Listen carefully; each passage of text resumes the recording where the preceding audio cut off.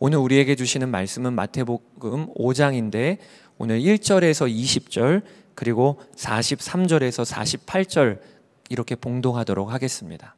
예수께서 무리를 보시고 산에 올라가 앉으시니 제자들이 나아온지라 입을 열어 가르쳐 이르시되 심령이 가난한 자는 복이 있나니 천국이 그들의 것이며 애통하는 자는 복이 있나니 그들이 위로를 받을 것이며 온유한 자는 복이 있나니 그들이 땅을 기업으로 받을 것이며 의에 줄이고 목마른 자는 복이 있나니 그들이 배부를 것이며 긍휼히 여기는 자는 복이 있나니 그들이 긍휼히 여김을 받을 것이며 마음이 청결한 자는 복이 있나니 그들이 하나님을 볼 것이며 화평하게 하는 자는 복이 있나니 그들이 하나님의 아들이라 일컬음을 받을 것이며 의를 위하여 박해를 받은 자는 복이 있나니 천국이 그들의 것임이라 나로 말미암아 너희를 욕하고 박해하고 거짓으로 너희를 거슬러 모든 악한 말을 할 때에는 너희에게 복이 있나니 기뻐하고 즐거워하라 하늘에서 너희의 상이 큼이라 너희 전에 있던 선지자들도 이같이 박해하였느니라 너희는 세상의 소금이니 소금이 만일 그 맛을 잃으면 무엇으로 짜게 하리요 후에는 아무 쓸데없어 다만 밖에 버려져 사람에게 밟힐 뿐이니라 너희는 세상의 빛이라 산 위에 있는 동네가 숨겨지지 못할 것이요 사람이 등불을 켜서 말 아래 두지 아니하고 등경 위에 두나니 이름으로 집안 모든 사람에게 비치느니라 이같이 너희 빛이 사람 앞에 비치게 하여 그들로 너희 착한 행실을 보고 하늘에 계신 너희 아버지께 영광을 돌리게 하라. 내가 율법이나 선지자를 폐하러 온 줄로 생각하지 말라. 폐하러 온 것이 아니요 완전하게 하려 함이라. 진실로 너에게 이르노니 천지가 없어지기 전에는 율법의 1.1획도 결코 없어지지 아니하고 다 이루리라. 그러므로 누구든지 이 계명 중에 지극히 작은 것 하나라도 버리고 또 그같이 사람을 가르치는 자는 천국에서 지극히 작다 일컬음을 받을 것이요 누구든지 이를 행하며 가르치는 자는 천국에서 크다 일컬음을 받으리라. 내가 너희에게 이르노니 너희 의가 서기관과 바리새인보다 더 낫지 못하면 결코 천국에 들어가지 못하리라. 또 내 이웃을 사랑하고 내 원수를 미워하라 하였다는 것을 너희가 들었으나 나는 너희에게 이르노니 너희 원수를 사랑하며 너희를 박해하는 자를 위하여 기도하라. 이같이 한즉 하늘에 계신 너희 아버지 아들이 되리니 이는 하나님이 그 해를 악인과 선인에게 비추시며 비를 의로운 자와 불의한 자에게 내려주심이라. 너희가 너희를 사랑하는 자를 사랑하면 무슨 상이 있으리요 세리도 이같이 아니하느냐. 또 너희가 너희 형제에게만 문안하면 남보다 더하는 것이 무엇이냐. 이방인들도 이같이 아니하느냐. 그러므로 하늘에 계신 너희 아버지 온전하신 것 같이 너희도 온전하라. 아멘. 하나님의 말씀입니다. 오늘 마태복음 5장부터 7장에 이르기까지 이제 산상수훈이 이어지게 됩니다. 오늘 1, 2절에 보면 이 전체 산상수훈이 이렇게 시작이 됩니다. 예수께서 무리를 보시고 산에 올라가 앉으시니 제자들이 나온지라 입을 열어 가르쳐 이르시되 이 말씀을 근거로 어, 예수님께서 산에 올라가 가르치신 말씀이라 하여 산상수훈이라 이름을 붙인 것입니다. 여러분 마태복음은 유대인들을 대상으로 쓰여진 성경이라 하였는데 유대인들은 오늘 이 1, 2절을 읽을 때 어떤 한 장면을 연상했을 것입니다. 그것이 바로 신의 산으로 올라간 모세. 모세가 아, 광야에서 신의 산으로 올라가 말씀하시는 하나님의 말씀을 담아 기록을 했지요. 그러니까 오늘 본문에 예수님께서도 산에 올라가 제자들이 나아오고 그리고 예수님이 입을 열어 말씀을 가르치셨다라고 했을 때 마태는 아주 중요한 한 가지의 아, 선포를 하고 있는 것입니다. 그것은 바로 예수님 그분이 말씀하시는 하나님이시다라고 하는 것을 오늘 마태가 증거하고 있는 것입니다. 오늘 본문은 48절까지 이루어진 긴 장인데 크게는 한 세 부분으로 우리가 나눌 수가 있겠습니다. 1절에서 12절 팔복의 내용이고 그리고 13절에서 16절 빛과 소금이라 하신 말씀이고 그리고 17절에서 48절까지는 예수님은 율법의 완성이시다. 이렇게 세 부분으로 이루어져 있습니다. 먼저는 1절에서 12절인데 소위 팔복이라 우리가 부르는 내용이 담겨 있습니다. 여러분 예수님이 왕으로 다스리시는 하나님의 나라는 복의 개념이 완전히 바뀌는 나라입니다. 세상에서는 많은 소유를 하고 오래 살고 그리고 자녀가 잘 되면 복이라고 합니다. 그러나 하나님 나라에서는 하나님이 복이십니다. 하나님이 복이셔서 우리도 찬송가 28장에 복의 근원 강림하사라고 하는 찬송이 있죠. 하나님이 우리의 복이세요. 갓난 아이에게는 어떤 상황이 닥쳐도 어머니가 있는 게 그게 모든 것의 해결이듯이 우리에게도 우리의 하나님이 계신 것이 우리에게는 복인 것입니다. 그런 점에서 오늘 3절, 4절을 우리가 볼 수 있어야 합니다. 심령이 가난한 자는 복이 있나니 천국이 그들의 것이며 애통하는 자는 복이 있나니 그들이 위로를 받을 것이며. 그러니까 오늘 본문에는 심령이 가난한데 복이 있다 하시고 애통한데 복이 있다 하십니다. 근데 이거는 도무지 세상 기준으로는 이해가 안 되는 것입니다. 애통하면 복이 없는 거지. 어떻게 그게 복이 있는 것입니까? 그런데 하나님 나라에서는 다 달라집니다. 애통할 그때가 복이 있을 때입니다. 왜냐하면 애통할 그때가 내가 가장 하나님을 가까이 만날 때이기 때문에 그렇습니다. 오늘도 애통하시는 분 계십니까? 그때가 하나님을 가장 가까이 만날 때입니다. 그러니 하나님의 눈으로 보기에는 복이 있는 것입니다. 그리고 이어지는 두 번째 문단이 13절에서 16절입니다. 예수님께서 자신을 따르, 따르신, 따르는 제자들에게 놀라운 선언을 하나 하세요. 그것이 너희는 세상의 소금이고 너희는 빛이다 하십니다. 13절 너희는 세상의 소금이니 소금이 만일 그 맛을 잃으면 무엇으로 짜게 하리요. 14절 너희는 세상의 빛이라. 네, 여러분 우리가 여기서 눈여겨 봐야 할 것은 너희는 세상의 소금이다, 빛이다라고 하실 때 이 동사가 미래형이 아니고 현재형이라는 것입니다. 앞으로 소금이 될 거야. 앞으로 빛의 사명 감당할 거야. 라고 하는 말씀이 아니고요. 이미 너희는 빛이야. 지금 너희는 소금이야. 라고 하시는 것이 오늘 말씀인 것입니다.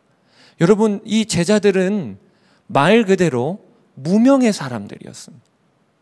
그들은 로마 제국 안에서는 변두리 중에 변두리에 사는 사람들이었습니다. 그런 제자들이 자기 자신을 볼 때나 함께 있는 동료들을 볼 때 어떤 눈으로 바라봤을까요? 너는 소금이야. 나는 빛이야. 이렇게 바라봤을까요? 아마 절대 꿈도 못 꿨을 일이겠지요.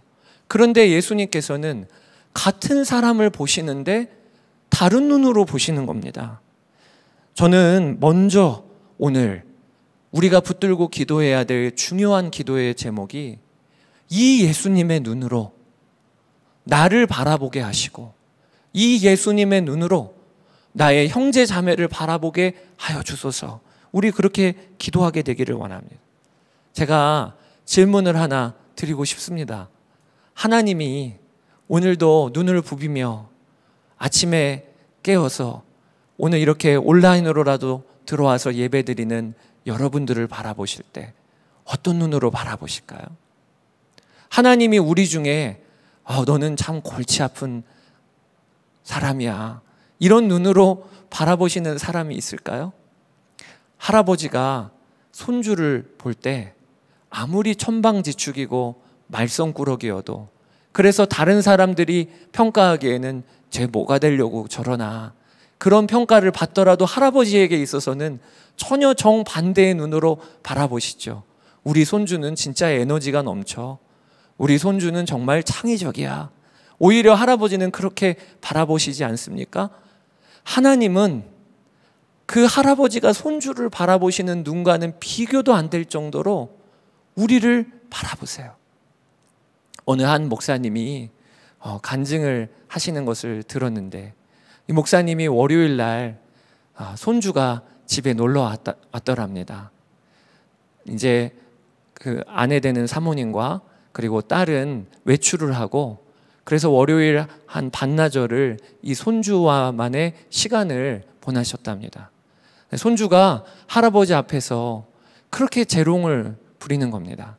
어저께 주일학교에서 배웠던 율동과 찬양을 하나님 앞에서 아, 할아버지 앞에서 그렇게 하더랍니다.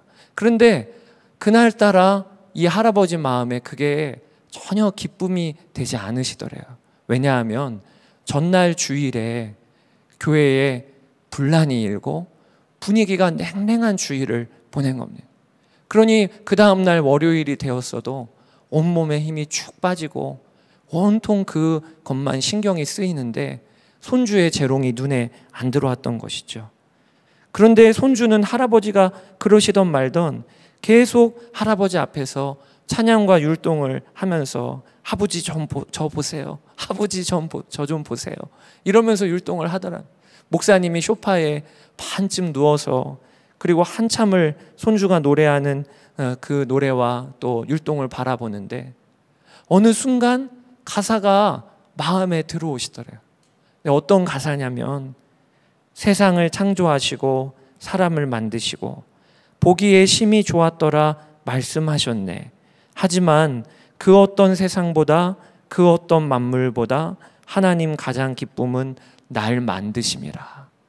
이 손주가 노래하는 이 가사가 이렇게 들어오더랍니다. 몇 번을 아이가 부르는데 점점 목사님 마음의 그 뒷구절, 그 어떤 세상보다 그 어떤 만물보다 하나님 가장 기쁨은 날 만드심이라. 이게 마음에 들어와서 손주가 갑자기 그렇게 사랑스러워 보이더래요. 그러면서 할아버지 마음에 그래 널 만드심이 가장 기쁨이지. 이렇게 말이 나오는데 그 순간에 자기 뒤에서 자기가 손주를 바라보는 눈 그대로 자기를 바라보시는 하나님의 눈이 마음에 확 붙잡아 치시더래요. 그러면서 하나님께서도 그 어떤 세상보다 그 어떤 만물보다 나의 가장 큰 기쁨은 널 만든 거야. 라고 하는 마음이 확 마음에 믿어지시더랍니다. 그래서 마음이 높고 힘을 얻었다고 하시는 간증을 들은 적이 있습니다. 여러분, 여러분이 지금 모니터를 바라보실 텐데 그 여러분 바라보시는 여러분 뒤에서 하나님은 여러분들을 어떤 눈으로 바라보고 계실까요? 예수님께서 제자들에게 아예 선언하신 거예요. 너희는 세상의 소금이야. 너희는 세상의 빛이야. 주님의 눈으로 보면 그 제자들은 소금이고 빛인 것입니다. 우리가 이 눈으로 나를 바라보고 다른 사람을 바라보는 눈이 열리게 되기를 원합니다. 나는 우리 가정의 소금이야. 그리고 집사님, 집사님은 우리 교회의 빛이에요. 집사님이 계셔서 교회가 밝아요. 이게 우리가 할 마땅한 고백인 것입니다. 오늘 그 눈이 우리 가운데 열리게 되기를 원합니다. 그리고 한 가지 더 붙들고 기도할 제목이 하나님이 우리 아버지이심을 믿는 믿음, 그리고 이 감격이 우리에게 회복되게 하소서 우리 그렇게 기도하게 되기를 원합니다. 오늘 마태복음 5장에서 가장 많은 부분을 차지하는 단락이 17절에서 48절, 한 총 30절이나 되는 단락입니다. 근데 이 단락 안에는 여러 말씀들이 담겨 있습니다. 아, 제가 쭉 설명을 드리자면 형제를 향하여 노하거나 미련한 자라 하지 말라. 마음으로 음욕을 품는 자마다 이미 가늠한 것이라. 하늘로도 땅으로도 그 어떤 것으로도 맹세하지 말라. 악한 자를 대적하지 말고 오른쪽 뺨을 치거든 왼편도 돌려대라. 너의 원수를 사랑하고 박해자들을 위하여 기도하라. 주제로 본다면 총 한 일곱 가지 주제가 이어집니다. 한 말씀 한 말씀 가지고 다 몇 번의 설교로 나눌 만한 주제들인데요. 이 말씀들은 사실 한 구절로부터 시작이 되는 것입니다. 그게 바로 17절입니다. 17절에 내가 율법이나 선지자를 폐하러 온 줄로 생각하지 말라. 폐하러 온 것이 아니요 완전하게 하려 함이라. 예수님께서 이 17절을 시작하시면서 내가 율법을 폐하러 온 것이 아니고 완전하게 하러 왔노라. 그리고 나서 이 일곱 가지 주제가 이어지게 되는 것입니다. 그래서 이 17절 이후에 말씀들은 그 구조가 다 같습니다. 어떻게 구조가 같냐면 먼저 예수님께서 너희가 구약의 율법에서 이렇게 하라고 하는 말씀을 들었, 들었지. 그런데 나는 너희에게 말한다. 이렇게 문장이 이어집니다. 그래서 38절을 구절을 예를 들자면 또 눈은 눈으로 이는 이로 갚으라 하였다는 것을 너희가 들었으나 나는 너희에게 이르노니 악한 자를 대적하지 말라 누구든지 내 오른편 뺨을 치거든 왼편도 돌려대며 그러니까 이 17절 이후에 이어지는 이 30절이나 되는 이 분량 동안에 동일한 반복이 주어지고 있는 것입니다. 그것이 예수님은 구약의 율법을 완성하셨다는 거예요.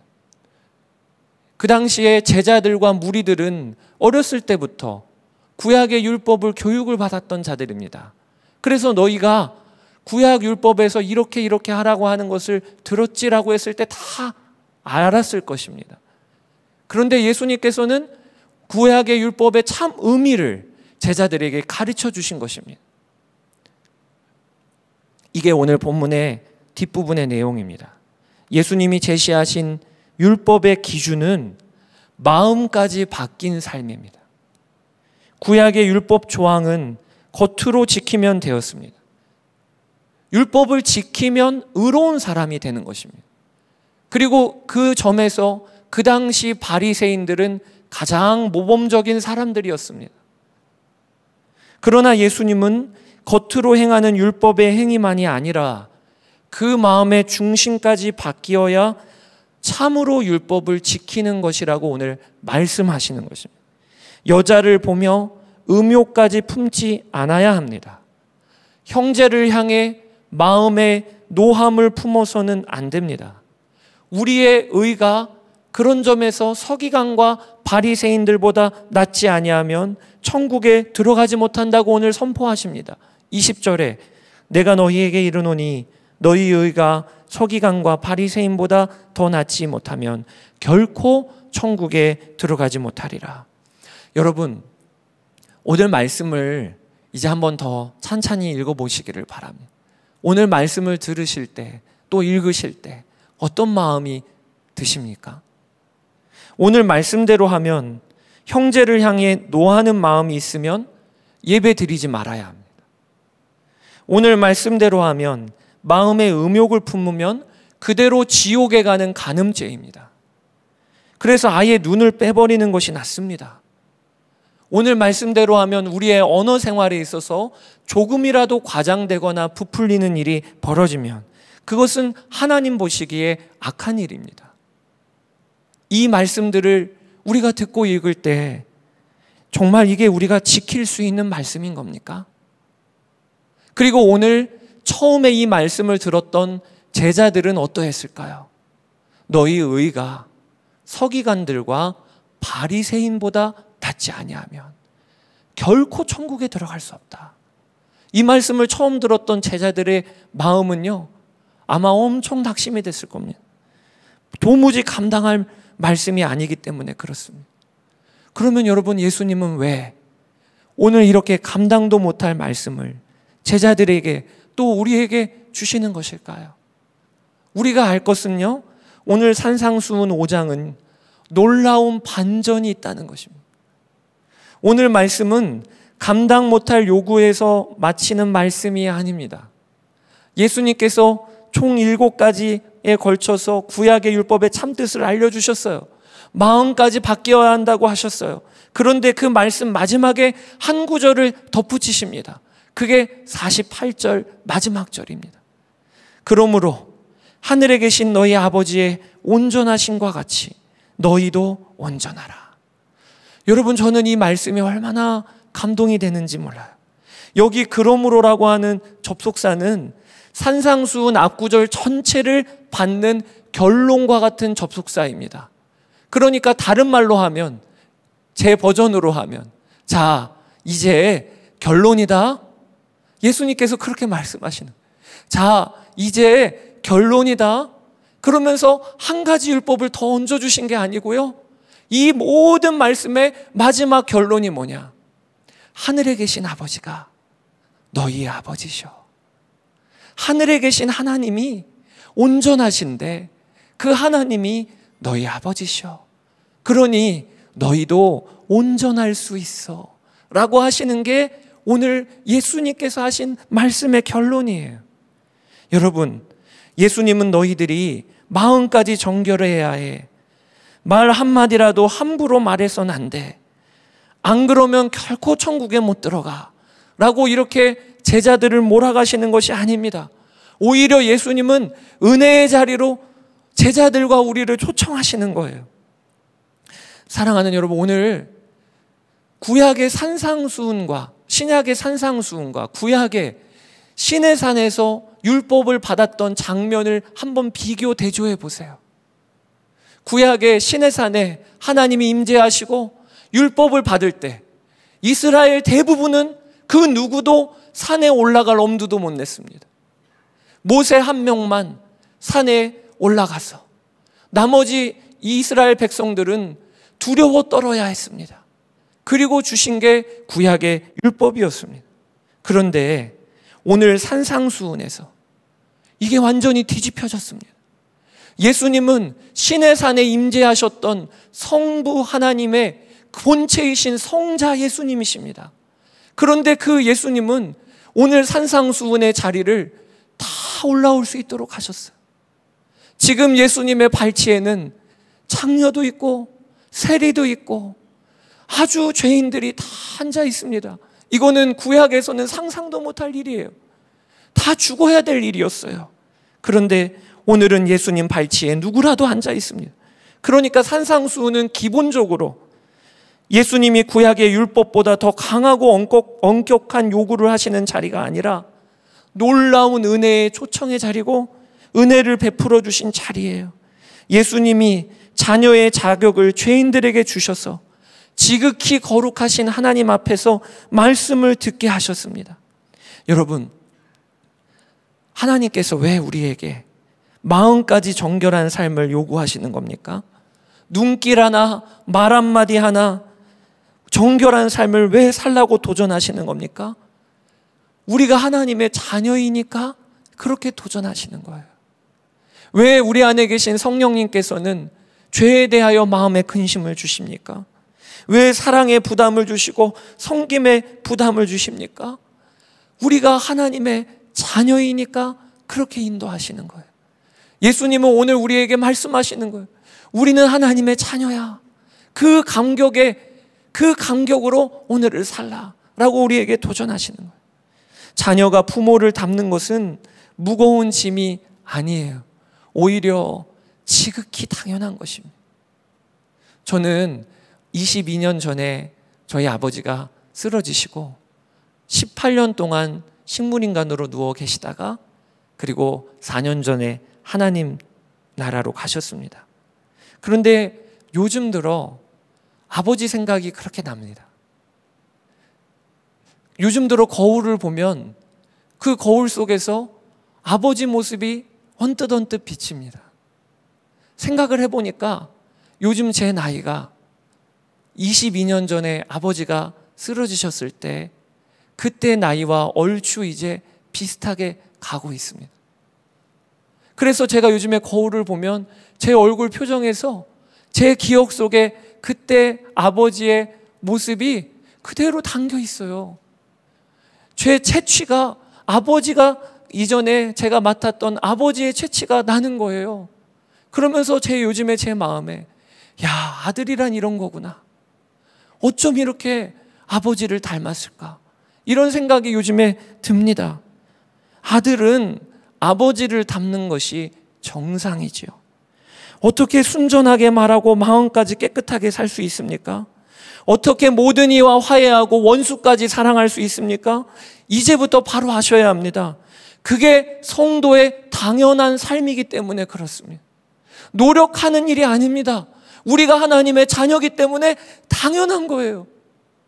우리가 모신 아버지, 우리 안에 계신 아버지가 온전하시기 때문에 우리도 온전하게 살 수 있는 것입니다.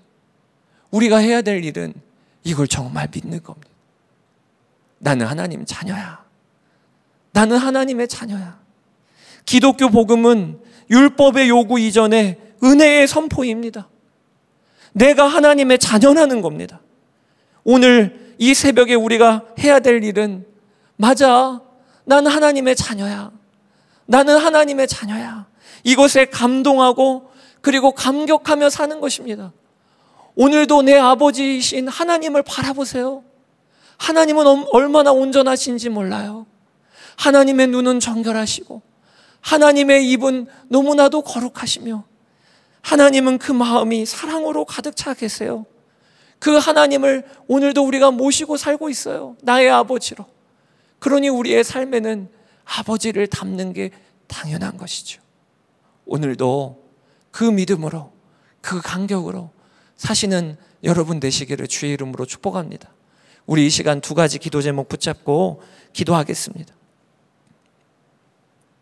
첫 번째, 주님의 눈으로 나를 바라보고 주님의 눈으로 형제를 바라보게 하여 주소서. 오늘 예수님께서 너희는 세상의 빛이요. 너희는 세상의 소금이라 하셨습니다. 우리가 이 시간 진짜 기도할 때 저에게 이 주님의 마음과 눈이 열리게 하여 주십시오. 판단하고 정죄하고 거리 두는 일만 했던 제 삶에 이제는 바뀌어 세상의 빛과 소금으로 나도 바라보게 하시고 내 형제를 바라보게 하여 주옵소서. 우리 이렇게 기도하겠습니다. 아버지 하나님 감사합니다. 오늘도 하나님 우리의 주의 말씀을 붙잡고 우리의 눈이 열리게 되기를 원합니다. 아버지 하나님 하나님께서 나를 바라보시는 눈으로 나를 바라보고 그리고 하나님께서 내 형제 자매를 바라보시는 눈으로 우리가 바라보게 되기를 원합니다. 나온 제자들에게 너희는 이미 빛이요. 너희는 지금 소금이라고 하신 그 주님의 눈으로 우리가 나를 바라보고 형제자매를 바라보게 하여 주소서. 정죄하고 판단했던 삶을 이제는 그치게 되기를 원합니다. 아버지 갈라서고 거리두기 했던 삶을 이제는 그치게 되기를 원합니다. 우리의 마음에 아버지 하나님 주님의 눈으로 바라보게 하셔서. 아버지 하나님 내가 이 가정의 소금이라고 고백하게 하여 주시고 아버지 하나님 내가 이 직장의 소금이요 빛이라고 고백하게 하여 주시고 내가 우리 아버지 교회의 빛이요 소금이라고 고백하게 하여 주시고 그 믿음과 소망을 가지고 우리의 형제자매를 바라보는 역사가 있게 하여 주시기를 원합니다. 아버지 하나님 오늘도 아버지 부족하고 아버지 넘어지게 일수인 나이지만 그런 나를 바라보시며 소금이라 빛이라고 말씀하시고 선언하시는 그 주님의 선언을 우리의 결론으로 붙잡습니다. 아버지 하나님 오늘 하루 빛과 소금의 역할을 감당하며 나아가게 하여 주소서. 아버지 하나님 오늘 하루 직장과 가정과 교회에서 빛과 소금의 역할을 감당하며 나아가게 하여 주소서. 아버지 하나님 감사합니다. 주님 찬양합니다. 두 번째로 우리가 기도할 때 하나님이 우리의 아버지세요. 하나님이 나의 아버지세요. 내 안에 계신 주님, 그 주님 붙잡고 오늘 하루 살게 하여 주십시오. 온전하신 아버지만 쫓아 살게 하여 주십시오. 내가 아들인데, 내가 딸인데, 아버지의 성품, 아버지의 여러 선하시고 아름다우심을 다 담는 하루 되게 해 주십시오. 우리 그렇게 믿음으로 오늘 하루를 시작하게 되기를 원합니다. 감격으로 오늘 하루를 시작하게 되기를 원합니다. 선포로 오늘 하루를 시작하게 되기를 원합니다. 우리 이 시간 같이 기도하겠습니다. 아버지 하나님 감사합니다. 하나님. 그렇습니다. 저희가 하나님 온전하신 하나님 아버지를 모시고 사는 자녀입니다. 아버지 하나님 하나님만 붙잡고